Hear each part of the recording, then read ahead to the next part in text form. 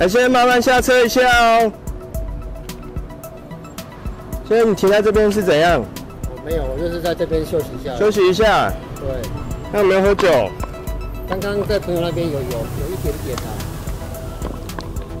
浩平这边要支援一下哦。哎，我们麻烦先做酒测哦。来吹一下好不好？从哪边吹？你跟我讲，因为我没有做过。从棒子的尖端，哦，吹一个气。